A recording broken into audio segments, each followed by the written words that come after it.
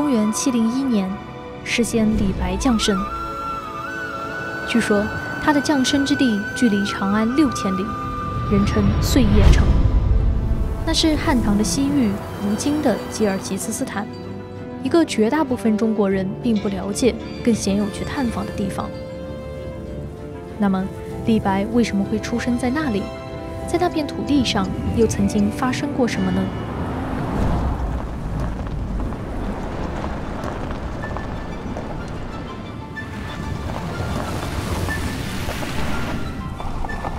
在接下来的视频里，我们会和新华社“一带一路”全球型报道团的小伙伴们一起走出国门，前往中亚大地，寻找那座遗落千年的故城。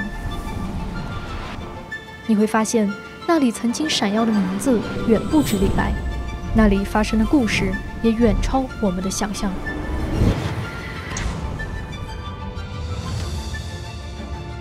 当我们借助卫星视角，可以看到在欧亚大陆的中心。坐落着哈萨克斯坦、吉尔吉斯斯坦、塔吉克斯坦、乌兹别克斯坦和土库曼斯坦五个国家，人称中亚五国。而碎叶城就在今天的吉尔吉斯斯坦境内，坐落于高山之下。你看啊，这里就是哈萨克斯坦第一大城市阿拉木图了。好漂亮啊！嗯，从这儿跨过我们所在的这座山脉，你们就会进入吉尔吉斯斯坦了。你知道吗？看到它，我就想到曾经的岁月城。很难想象，在距离大海这么远的地方，在一片片荒漠的包围下，竟然能像这样建起一座大城市。是的，中亚大地大多远离海洋，水汽难以抵达，让荒漠和草原构成了大地的底色。但为何这样一片干旱少雨的地带，能从古至今诞生一座又一座繁华的城市呢？要回答这个问题。我们需要走进一片更加震撼的风景中。看，根本看不到边。这是伊塞克湖，世界上最大的高山湖泊之一。看到它，就意味着我们离岁月城只有不到两百公里了。大概在一千三百多年前，在李白还没有出生的时候，高僧玄奘就是从这里经过，去往岁月城，再前往印度的。只不过在那时，这片大湖还有另外一个名字——热海。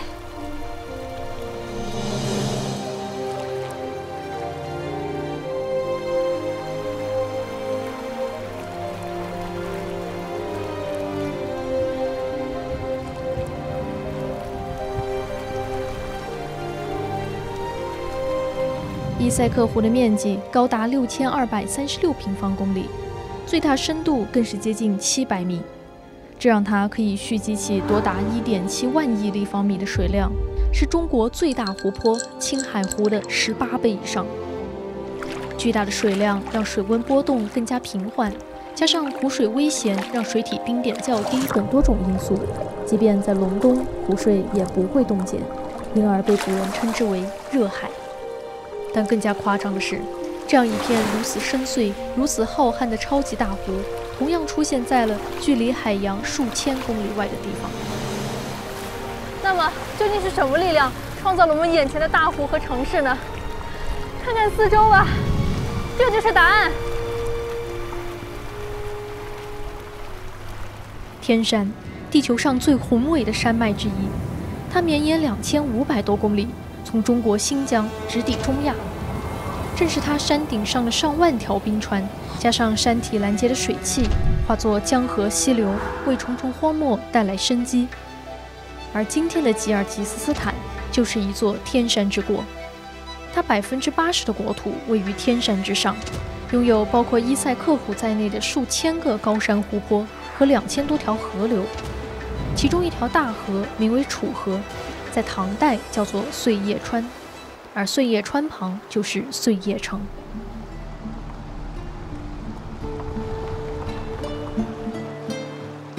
你好，深蓝，在呢。打开小憩模式。已打开小憩模式。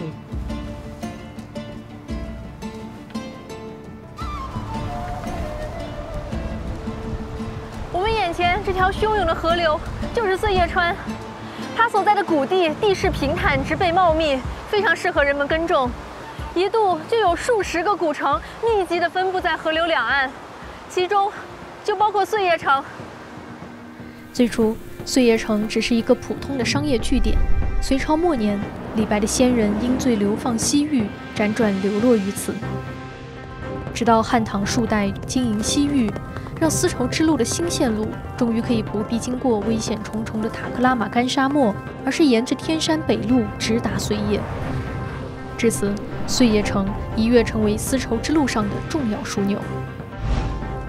到唐代初年，玄奘跋涉至碎叶城时，它已经成为西突厥汗国的都城之一。所谓诸国商贾杂居也，相当繁华。李白的祖先或许就是诸国杂居的一份子。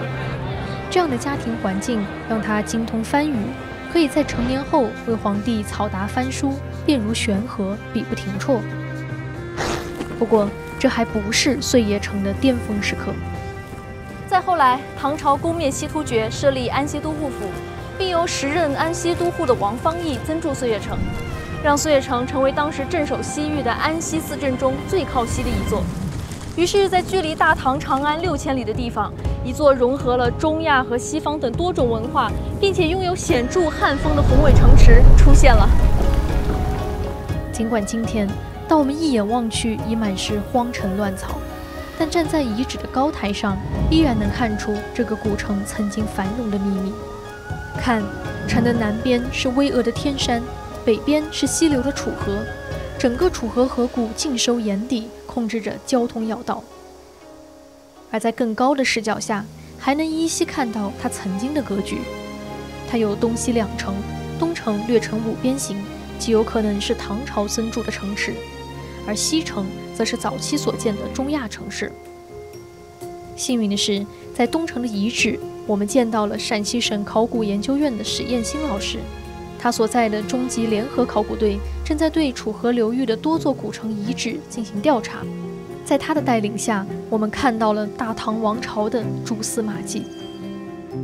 这里就是碎叶城东城的核心区，地上大量散落的唐代的铜瓦和板瓦。它们组合的这个叠放关系呢，是这个板瓦的凹面朝上，嗯，铜瓦反向的搭扣在这里。我们现在看到的就是唐代的覆瓦木构建筑废弃倒塌之后形成的倒塌堆积。综合推测呢，这一片区域呢，很可能是和正史记载的王方义所建的衙署存在着某些联系。明白，安西都护王方义，没错。而这里出土的最重要的文物是一块汉字碑文。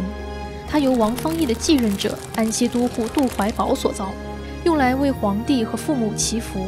而上面清晰可见的“碎叶”二字，证实了这里就是曾经的大唐碎叶城。那是碎叶城最辉煌的时代，也是李白出生的时期。到公元七零五年，李白就离开了碎叶城，回到了四川。而那之后的碎叶城，也和李白的命运一样，起落不定。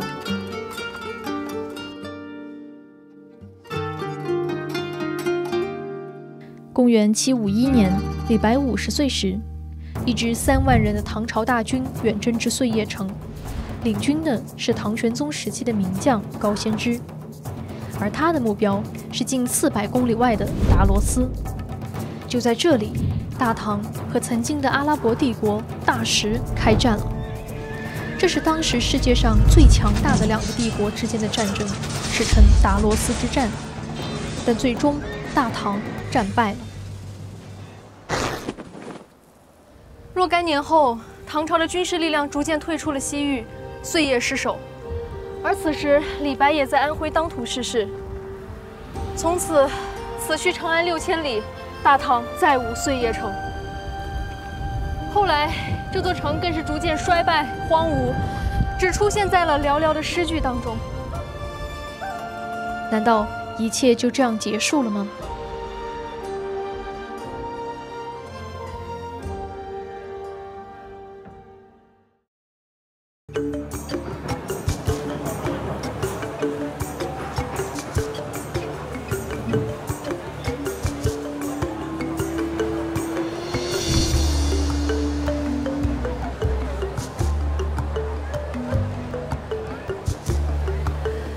是吉尔吉斯斯坦的首都比什凯克，距离碎叶城大概六十公里。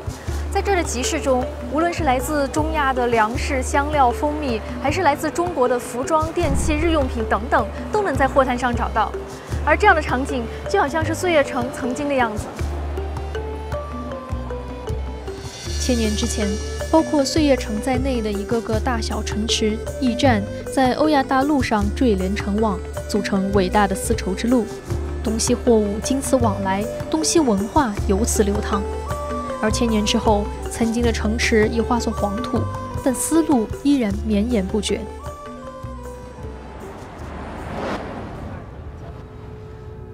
我们现在走的隧道属于吉国唯一一条连通南北的交通干线——北南公路。它从位于北部的首都比什凯克一路向南，直达第二大城市奥什。由于曾经的北南公路年久失修，通行不畅。如今，由中国路桥公司承建的新公路跨越山河，打通了许多封闭的山区，路程却比原有公路缩短近一半。建成后，它不仅将成为吉国全新的南北交通大动脉，还将成为今天丝绸之路经济带上重要的一环。此外，还有从中国多个城市出发的货运中欧班列，以及未来贯通中亚的中吉乌铁路等工程。它们将代替过去悠扬的驼铃，继续飞驰在天山脚下。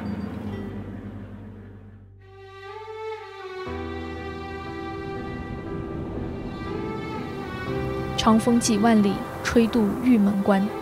岁月城已经远去，但它的故事却没有终结。当我们来到这里，感受到的并不仅仅是断壁残垣，这里的每一块陶片，每一捧黄土，都是往事。西行几万里的高僧玄奘，从这里走出的诗仙李白，还有王方义、杜怀宝、高仙芝，每一位也都是故人。此去长安六千里，原来这片土地并不陌生，原来我们与这里只是久别重逢。